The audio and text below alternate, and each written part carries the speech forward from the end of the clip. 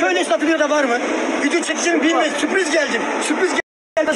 Demek ki onu geleceğim desem daha da güzel yakışıklı olurdu. Öyle bir esnaf. Eli yüzü parlak.